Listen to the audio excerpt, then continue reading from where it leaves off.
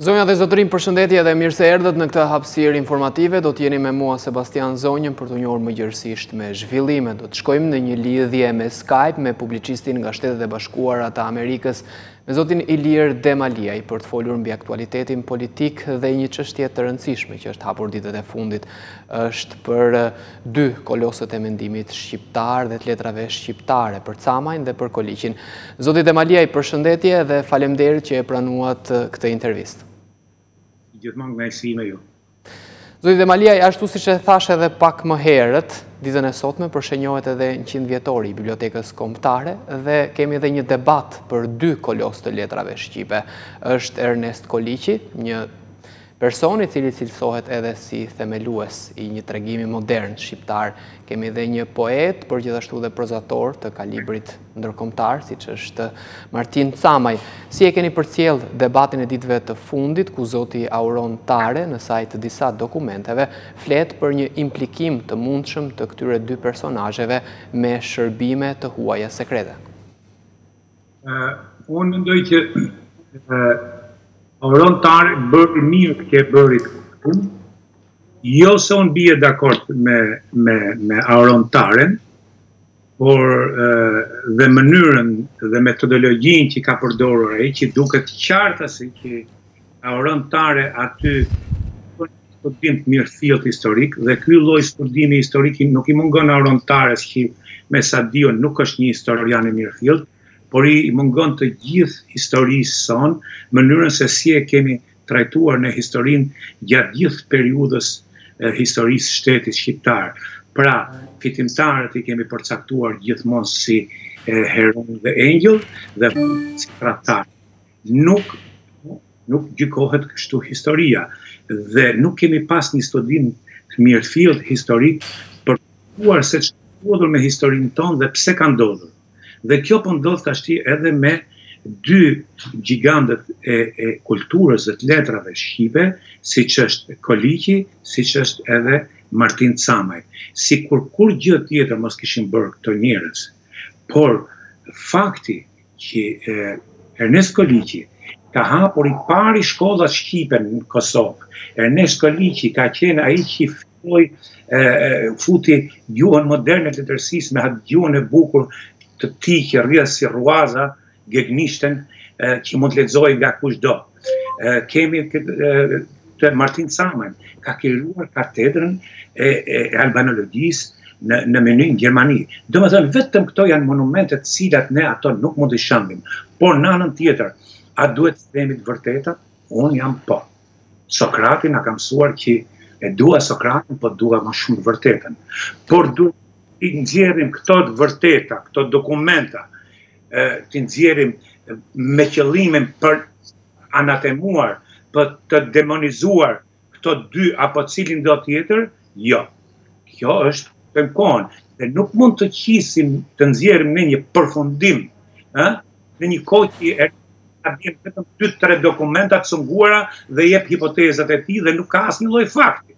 Për shembull, ajo që ka nënshkruar Martin Camaj aktin, aktin e bashkëpunimit është krejt normale. Një djalë 23 vjeçar, para ballafaqimit ose me burg ose i vdekur, nënshkruan një akt të tillë, pastaj ikën. Por nuk ka asnjë fund fakt deri më sot që të verifikojë që të provojë që Camaj ka futur në burg Sebastian Thojën, Ilir Demalin, X-in, a Y-in, a njërën tjetër. Po, zoti Demaliaj, aspekti, aspekti i të qenit të dy personave, të qenit gjenial në fushën e tyre, dhe të qenit kolosë të mendimit në fushën e tyre, dhe intelektualë publikë, është nuk besoj se mohohet nga askush. Pavarësisht se mund të ketë persona brenda një enverizmi të cilët e mohojnë, mund t'i quajnë edhe tradhtarë, pra janë në atë dikotomi që ti the hero dhe tradhtar, por në krahun tjetër një gjë duhet vënë në ose në debat. Intelektuali, siç po e thoshim edhe më herët, ka përmasën e publikes. Pra ka dhe implikime politike në veprën e tyre. Nuk po flasim thjesht për veprën letrare. Ka një akuzë ndaj Koliqit si kolaboracionist. Dhe ndaj Camajt ka një akuzë të ndërsjelltë për ta quajtur si bashkëpunëtor i Shërbimit Sekret Jugosllav, i UDB-së. Akuza të këtilla flasin edhe për jetën personale të tyre. Si duhet t'i trajtojmë këto lloj akuzash dhe faktesh? Këto, këto, kjo, kjo, atë desha të, të them, kjo fillim, domethënë, këto duhen marrë dhe duhen studiuar në kontekstin e kohës. ë dhe si do të kishim vepruar ë çdokush, domethënë, se është kollaj të gjykojmë nga sot, nga pozicioni sot. Për shembull, ne edhe nuk e mohon vetë në një letër të dërguar Karl Gurakuqit në 18 i shtatë 1952, ndërmjet të tjerave, ë Koliqi i thotë e pave numrin e fundit të Flamurit, kapidanin Kol Bibën, Cordignanon, e shkretë e tan' djemt e Ismailit, mue na sulmojnë poshtërsisht e i shpallin botës se jem fashista. Po kush e ka mohue? Domethënë vetë ky nuk e ka mohu që ka qenë në shërbim të fashizmit dhe ka qenë fashist. Për këtë arsye dhe u bë ministër, por për ç'qëllim ka qenë? Ka qenë për qëllimin sepse nëpërmjet fashizmit dhe fashizmin atë kohë deri në fillim të viteve 30 e ka përkrah dhe Amerika. Mos mos bëjmë sot gjenialin, mos bëjmë sot moral, do të jesh në kushtet e kohës me pis. Ti je në këtë gjendje jemi dhe sot në Kosovë. Çfarë do të marrim? Çfarë do të bëjmë midis midis kësaj tallavaje që i bëjmë ne? Si do të marrim? Si do të veprosh? Do të bëhesh me cilin do sot, o për t'i dhënë Kosovës pavarësinë dhe dhe për të njoft pavarësinë e ka, po për t'i njoft kufijtë dhe për t'u njoft nga gjithë bota. Pra njeriu nuk mund të gjykojë nga pozicioni që s'bën asnjë gjë dhe rri nga lart dhe unë jam i ndershëm, unë jam i moralshëm. Jo, sigurisht ato që futen beteja do të bëhen dhe pis. Dhe e kanë bërë për një qëllim të mirë. Pra Koliqi e ka bërë për sepse Italia ishte për të njohur Shqipërinë etnike dhe në atë periudhë u njoh Shqipëria etnike, Dhe fatkeqësia që ne vuajmë sot jemi përsëri sepse jemi një komb i ndarë, një popull i ndarë se nuk kemi krijuar dot hala komb-shtetin, sepse fakti që jemi dhe kulturalisht dhe psikologjikisht lëre të themi në paradat e o sa mirë me qenë shqiptar dhe tundim që vemë qeleshet e, e tundim flamujt. Kjo jo. Problemi është që ai ka pas këtë qëllim dhe ai e zhvilloi kulturën shqiptare. Ishte pikërisht, pikërisht kleri katolik që futi kudo gjuhën shqipe. Dhe ky mori iniciativën dhe hapi shkollat e para shqipe në, pra, qoftë se ky e ka pas një qëllim të mirë, edhe kështu më duket mu të paktën, atëherë nuk mund ta gjykojmë këtë si profashist që ka qenë shërbim për të shtyp Shqipërinë. Dhe këtu do të sjell në vëmendje edhe Patër Anton Harapin që ne e gjykojmë shumë si kolaboracionist. Në një letër drejtuar parlamentit, ë kur mori regjencën, u bë kryetar i regjencës, ai thotë, më rren mendja thotë, që kjo nuk publikohet. Më rren mendja thotë se nuk ka zog shqiptari që të mendojë se unë mora këtë barrë për kolltuk, për interesat, ndonjë intrige. Mundet veç me drashtë ndokush, mos qe ndonjë mani e emja që më shtyni deri këtu, dhe unë po e vërtetoj fjalën dhe po u them, se po, mania e Shqipnisë, Po, qe ajo që më vuni dilemën o me anarkista për me ba gjak, ose me hjekun dorë prej çashtjes kombëtare. Dhe mbasi shpirti më tha të nuk ma tha të bëj asnjanën as tjetrën, qeshë shtërngue me zgjedh njanën dysh, të baj një marri tu e pranue këtë zyrë sesa t'tregoj një dobësi, tu largue, tu largue. Vendova ma mirë të baj një marri, ase sikur të thonë ata shqiptarë që duan të ruhen të pastër, pa dashur të kompromentohen. Pra, në këtë situatë më poshtë Arapi thotë që në këtë kohë që të mëdhenjt po ngërdheshen, po ngërdheshen shqelma në mjet njëni-tjetrit, ne duhet të ruhemi se mos hamë ndonji shqelm e të hupim krejt si komb, si popull. Pra në këto situata, atyne duhet dhënë kredit që kanë pranu të bëjnë një gjë duke domethënë dal kundra moralit tyre, se domethënë sot mund të themi ne e moralshme ishte që të merrshe pushkën të luftojshe edhe ashtu është kundër fashizmit sepse ishte pushtues. Problemi është çfarë mund të bësh në situata që nuk ke fuqi. Dhe dalim ke lëvizja nacional çlirimtare, që ne trumbetojmë sot si një arritje të madhe.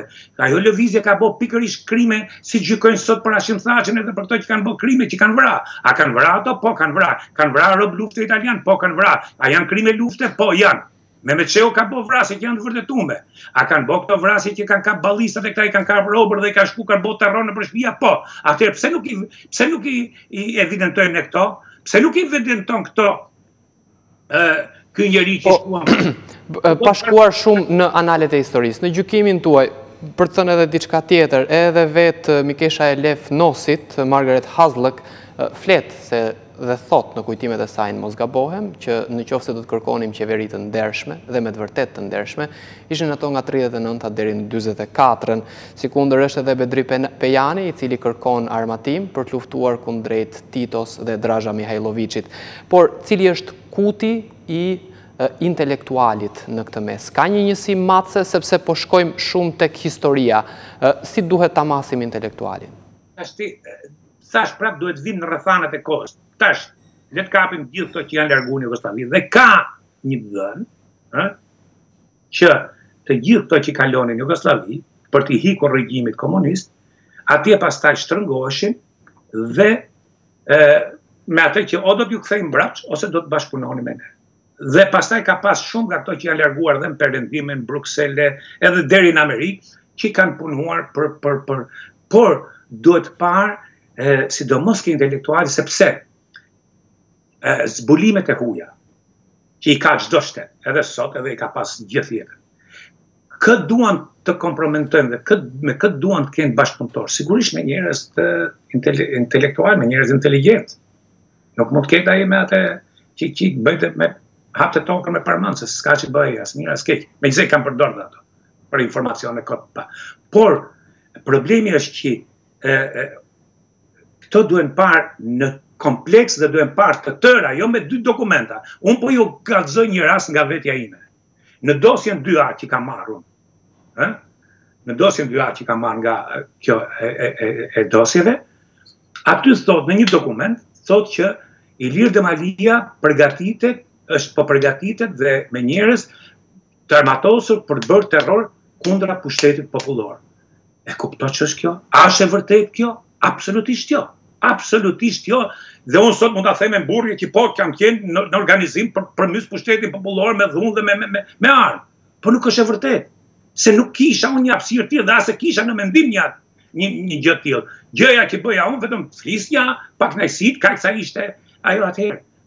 Pra, edhe dosjet e sigurimit duhen marrë me shumë rezerva. Por në atë... Thotë kjo që edhe dokumentin e CIA-s duhet ta marrim me shumë rezervë? Pa diskutim, ato janë, më ka thënë Ilir Demalia, më ka thënë, po nuk janë dokument, dokument është kur është ajo, për shembull siç është akti që ka nënshkruar ky Camaj, po nuk është dokument, ky i tha kështu, ai më tha, kështu të shifës që shkruar, aty, sikur unë jam, kupto, Problemi është që dokumentat duhen marrë se pse e bënte sigurimi këtë. Sigurimi e bënte këtë që kur nesër të të arrestonte, kishte një dosje dhe thonte ti ke bërë këtë këtë këtë këtë, nën dhunë njerëzit pranonin. Këtu kemi komplikimin tjetër që vijmë dhe ke hapja e dosjeve. Dhe unë kam qenë që dosjet duhet të hapen prej fillimit, të jenë të dhimshme, të jenë sido që të jenë, le të dalin vëllai im, duhet të mësojmë të vërtetën se çka ndodhur, sepse pa mësuar të vërtetën. duke mçefur të vërtetën. Edhe ato, sepse faktikisht ka qenë, nga sigurimi i shtetit ka qenë një, një jo ligj, po, se s'po gjej, dot fjalën tashi që, të, edhe kjo është normale, bashkëpunëtorët duhet t'i gjejnë ke shtresat e persekutuar. Dhe, ti ke pas sa dush raste, që edhe mbrënda në burg kanë dalë dëshmitar për bashkëvuajtësit e vet, ke, ke librin e Fatos Lubonjës, Ridënimi që i jep me emra mbiemra. Kupto? Dhe tashti a mund t'i gjykojmë këto? E, mund t'i gjykojmë në anën morale, mund t'i gjykojmë si të duam. Por në një botë të lirë dhe perëndimore, një deklaratë e dhënë nën tortura dhe dhunë psikologjike nuk merret për bazë. Nuk merret për bazë. Prandaj Këto duhen hap për të kuptu çfarë ka ndodhë, si ka ndodhë, se ke shumë njerëz sot në media që kanë qenë bashkëpunëtorë të sigurimit të shtetit. Ke një biles nga opinionistët Opinion që është bashkëpunëtor i sigurimit, ka qenë bashkëpunëtor, është dokumenti. Dhe nuk e nxjerrin, është dokumenti, unë nuk kam të drejtën ta nxjerr. E drejtë, zoti Demalia, në kontekstin e kohës, siç po e thoshit edhe ju pak më heret, një shqiptar një intelektual, si zoti Camaj, i cili largohet nga Shqipëria, rrezikon të burgoset, rrezikon të persekutohet, rrezikon të pushkatohet, a nuk e di se si mund t'i kishte situatat në atë kohë, dhe ka nënshkruar për sigurimin. Nuk e donte sistemin komunist, shkon në Jugosllavi. Nuk do që të kthehet në Shqipëri, por mbetet anti-enverist. Si duhet ta gjykojmë në qoftë se ky person ka hedhur një firmë diku? Pra ky thotë unë me çdo kusht dua që të rrëzohet diktatura në vendin tim, është diktaturë e ashpër dhe e tmerrshme. Si ndodh në të këtilla raste? Në të tilla raste ndodh pra ajo që duhet ta shohim në të përgjithshme gjithë aktivitetin e njeriut dhe kështu dhe po historinë e një vendi. Kurse ne e shohim bardhë e zi, edhe ato që janë kundra komunizmit sot, që disa edhe në pas qenë persekutu, këta s'kanë qenë persekutu fare, se persekutimi është kur persekutohesh, se s'du të përmend emra tashi, edhe ata, domethënë, gjykojnë dhe veprojnë njësoj si, si komunizmi, si komunistët, njësoj, njësoj veprojnë. Gjuha që ishte përdorur dje nga disa që kishin shkruar artikuj kundër Tares, ishte për t'ardh keq, një gjuhë aq banale që merreshin jo gomari, jo gomarica, jo kjo, jo ajo, domethënë, nuk merr argumenta për ta për ta hedhë mungon polemika, domethënë merret merret me personin. Pra duan të merren tamam një ndeshje primitivësh folklorik, ë, që që të vjen neveri dhe kjo është bërë neveri, domethënë kjo puna edhe prandaj prandaj ne jemi në këtë gjendje sot, se nuk e kemi atë aftësinë dhe forcën për të kuptuar se çfarë ka ndodhur duke nxjerr të gjitha dhe jo për të dënuar më, se nuk e dënojmë dot më as edhe sikur të ketë qenë, nuk e dënojmë dot mor ne, ë, Martin Camajn dhe kuptohet nuk e dënojmë më ata kanë vdekur, edhe këto që kanë qenë kriminalë, nuk i problemi është të nxjerrim për të kuptuar ç'ka ndodhur që mos na përsëritet më dhe në mesazhin që dha ambasadori gjerman në rastin e inaugurimit memorialit dy korrikut në rrugën e ambasadave, tha një gjë që mbet në mend. Shqiptarët duhet të merren me të kaluarën për të analizuar atë dhe për të kuptuar se ç'ka ndodhur me to që mos t'i ndodh tani dhe mos t'i ndodh në të ardhmen. Dhe ne akoma mbas 30 vjetësh nuk e kemi kuptuar këtë dhe ankojmë akoma komunizmin. Ç'kanë bërë historianët, ç'kanë bërë politikanët për këtë? Për të bërë një debat, ç'ka bërë Akademia e Shkencave pa shkencë? A kupton? Prap jemi në llogore, sepse ato që i kanë shërbyer regjimit komunist, ë? Ato kanë hall mos të rrëzojnë vetveten, se kanë veprën gjithë në atë regjim, duke filluar që nga Akademia e Shkencave, e, letërsia, arti, njërën tjetrën, dhe këta gjoja perse, edhe persekutuart e vërtetë, se jo po them gjoja, disa bëjnë gjoja që dalin sot nëpër media, ë? Edhe këta janë në një handikep sepse një pjesë e tyre kanë qenë kompromentuar siç është rasti për shembull i Camajt që ka, gjithë jetën e ka munduar ai dokument që ka firmos se mos ia nxjerrin dhe vetë letërsia e tij dhe vetë poezia e tij dhe gjuha e tij është shumë hermetike. Kupto? Është një mundim i madh që që, që ka njeriu me veten. Kurse në anën tjetër, ato që ishin bërë me fashizmin? kundra komunizmit, nga sot është kollaj të them, po nga, nga, nga sot është kollaj të gjykoj, por nga çka shof sot, kemi si njeri them, ma mirë të na kishte majt 50 vjetë Italia, se do ishte bo shumë ma mirë Shqipëria, edhe si ndërtim, edhe si, si zhvillim, edhe, edhe si, si, si njerëz. do ishim shumë më afër perëndimit. Se kështu këtë gjendje që jemi ne është është turp e faqe e zezë. Edhe kacafytemi sot dhe nuk kemi mësuar, nuk refuzojmë të mësojmë për të majt atë historinë e katunit, ose historinë e vet, ne kemi falsifikuar historinë e këtyre 30 vjetëve, lëre më të njëherë. Historinë e këtyre vjetëve, kur ne kemi qenë dëshmitarë, kemi qenë aktorë, kemi marrë pjesë, dhe është totalisht e falsifikuar, duke filluar që ke heronjtë e demokracisë. E drejtë. Është është e më. Janë pak a shumë si ai filmi japonez Rashomon, e drejtë. Po, ajo që dua të them është për shembull, pastaj edhe këto që janë gjoja antikomunist, nuk mund t'i kuptoj disa prej këtyre. Sepse njëri dje kishte vu, ai Gjomarkaj kishte vu një shkrim domethënë që e, e, e vente Kadaren në një nivel domethënë që duan të poshtrojnë Koliqin, Camajn këto dhe Kadaren. Unë nuk du të hy të gjykoj këtu as letërsinë e Kadaresë, as Camajt, as, as Koliqit. Por, nuk mund t'i vesh Kadaren me këto bashkë. Po, po, debati, Spari... debati zoti Demaliaj nuk është për, për stilin apo për letërsinë e këtyre personazheve. Kjo ka, kjo ka të bëjë si koncept. Kjo ka të bëjë për, për, për, për, për dyftyrësinë që kanë këto njerëz. Për mënyrën, eh, për double standardin që kanë këto njerëz.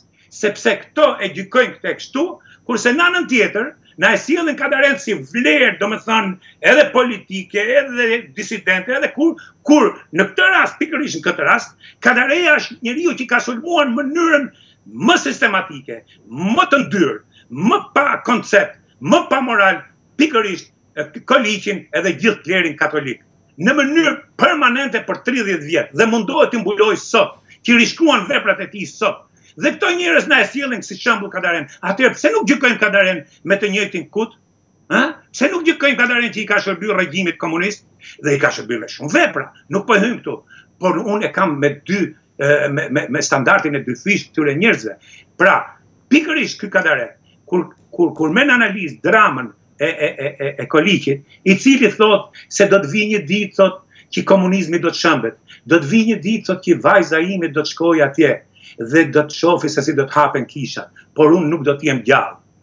Kurse Kadareja shkruen, nga tre parashikimet që bëri ky njeri primitiv, ky fashist, ky ky ky tradhtar i atdheut i doli vetëm njëra, vdekja e tij dhe me vdekjen e tij varroset përfundimisht një letërsi dekadente që i ka qenë gati të bëhet varr i Shqipërisë. Pra pse nuk i thon këto? Pse nuk i thon këto? Pra mund të besohen këto njerëz nga të dy anët janë të pabesueshëm, sepse nuk kanë qëllim për të qitë të vërtetën, nuk kanë qëllim për të analizu, nuk kanë qëllim për të filtru dhe për të nxjerrë një histori, siç ka ndodh me të mirat e me të këqijat, siç është dhe jeta e njeriut. Por jo, kanë qëllim galloshesh për t'u mburrë që unë jam antikomunist, ky tjetri thotë, edhe ju jeni njësoj si ne se keni pas Koliqin, thotë që ka qenë fashist. Po Enver Hoxha, Po regjimi komunist nuk ka qenë kolaboracionist? A nuk bashkëpunuan me rusët? A nuk bashkëpunuan me jugosllavët duke torturuar, duke vrarë, duke kriju kampe përqendrimi për shqiptarët? Këto janë më të tmerrshëm se fundja fundit. Këto bash këto kolaboracionistë që pretendojnë këto nuk kanë krime në kurriz. Më gjeni një krim që ka bërë Camaj. Më gjeni një krim që i ka shkaktuar një njeriu Koliqi, më gjeni një krim që i ka shkaktuar dikujt Patër Anton Harapi, kurse për regjimin komunist në bashkëpunim me armiqtë e Shqipërisë, me serbët e me, me, me, me, me rusët na, na, na, na kanë shkatërru duke ngrit simbas metodave staliniste kampe përqendrimi, burgje duke arrestu njerëz, Këto nuk qenkan kolaboracionistë. Po njëqind herë më mirë, një milion herë bëhem me këto kolaboracionistë që fundja fundit kanë mendu për të mirën e Shqipërisë dhe kanë bë këtë kolaboracion për të mirën e Shqipërisë sesa me këta kriminelë që kanë shkatërru Shqipërinë në këtë pikë. Zoti Demaliaj, ditën e sotme u ngrit dhe një memorial për hebrenjtë e shpëtuar në vendin tonë. Ndërkohë që nëse shkojmë pikërisht te termi kolaboracionist që i thuhet shpeshherë. Ndërkohë që pikërisht gjatë qeverisjes së këtyre që ne i quajmë kolaboracionistë, hebrenjtë u shpëtuan më së shumti në vendin tonë, në Shqipëri. Pse nuk thuhen emrat e këtyre personave, pse nuk vijnë në histori emrat e tyre? Shumë bukur. Shumë bukur. Domethënë kush i ka shpëtu hebrenjtë? Ë? Kush i ka shpëtu? Kush i pajisi hebrenjtë me pasaporta duke i kthyer në muslimanë? Kush? Komunistët? Jo, se s'kishin. Pikërisht këto që këta i quajnë kolaboracionistë. Pikërisht këta. Pra, këtu dalim prapë te ajo që thashë unë, këta nuk kanë hy me qëllimin për të bërë krime. Këta nuk kanë hy për qëllimin për të shkatrru Shqipërinë. Pavarësisht biem, s'biem dakord politikisht. Jo, krimet që ka bërë regjimi komunist, nuk i ka bërë as as sundimi turk për 500 vjet shqiptarit. A mos ndoshta ky dokument, ose më saktë, a mos ndoshta studime të këtilla, tentojnë të relativizojnë sisteme pra që të thonë që dëgjo edhe gjatë asaj periudhe ka pasur njerëz që kanë bashkëpunuar me çdo lloj gjëje edhe gjatë Zogut ka qenë shumë keq e tjere tjere pra të relativizojnë periudhat? Shumë me vend, konstatim shumë i saktë. Kjo është për të relativizuar periudhën. Dhe ky është qëllimi i Auron Tares, i Auron Tareve dhe të gjithë këtyre që hapin këtë lojë, jo për të analizuar, jo për të parë historinë, jo për të mësuar nga rrethanat se si kanë vepruar këto njerëz, po për të relativizuar dhe për të krijuar këtë ndarje sot dhe unë them që kjo është dhe një strategji e kryeministrit Edi Rama në prag të zgjedhjeve që po vijnë, ë, për të bërë një ndarje prap midis midis shqiptarëve dhe antishqiptarëve, midis tradhtarëve dhe patriotëve dhe fillojë prapë një kacafytje tjetër që ngjan me atë që është zhvilluar gjatë gjithë kësaj kohe, po që pa të rënë dhe herë rinë dhe në rëjtë sepse pikërisht ne nuk e kemi analizuar historinë tonë, sepse pikërisht ne bërtasim gjithë ditën për dekomunistizimin dhe nuk e kemi bërë, sepse ato që kanë marrë në dorë të bëjnë dekomunistizimin, kanë qenë në shërbim të regjimit komunist,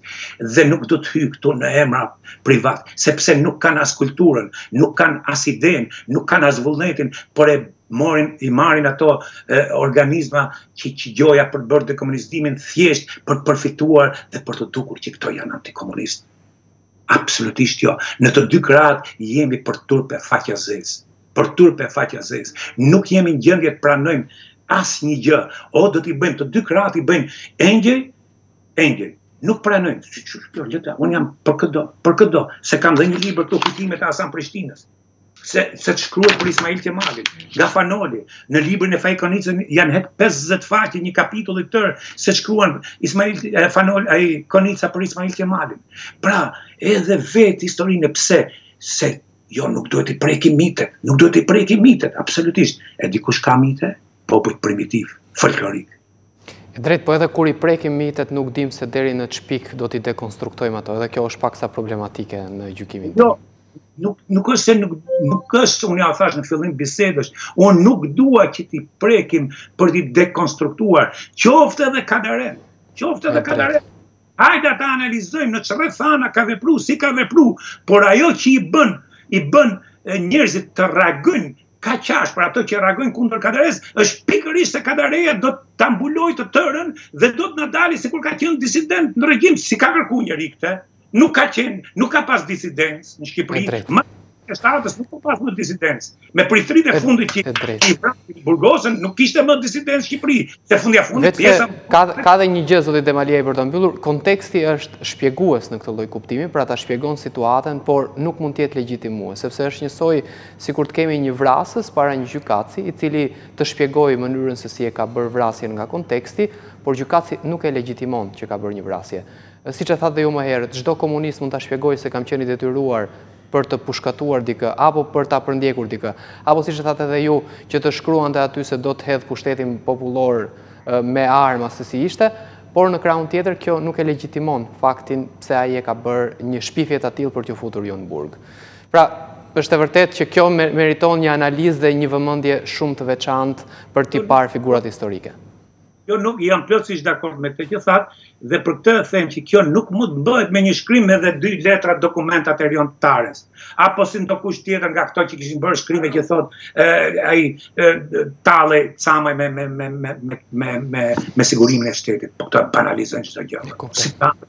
Ai ka qenë, ai ka qenë në në në në dhe e ka vuajtur gjithë jetën atë, se ka qenë kushtet për jetë apo vdekje, ke pas dhe tjerë ti që që kanë firmosur se para vdekjes ose jetës kanë firmosur dhe nuk ja marrun këtë, nuk mund t'i bëjun moral. Dhe kush bën moral sot? Ato që nuk janë provu. Ato që nuk janë thirrë njëherë te Dega e Brendshme. Përkundrazi ato që kanë qenë privilegjuar. Përkundrazi që ato që kanë qenë në shërbim të regjimit. Ato bëjnë moral. Zoti Demalia, jemi në limitet e kohës, të falenderoj, të përshëndes dhe uroj të jeni sa më mirë. Faleminderit.